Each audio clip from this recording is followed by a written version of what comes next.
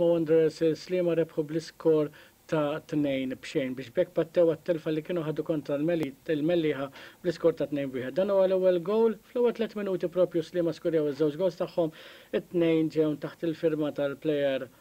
Hubert Suda, dak kien l-ewwel gowl tiegħu u proprju issa, permezz tas-saħħa tiegħu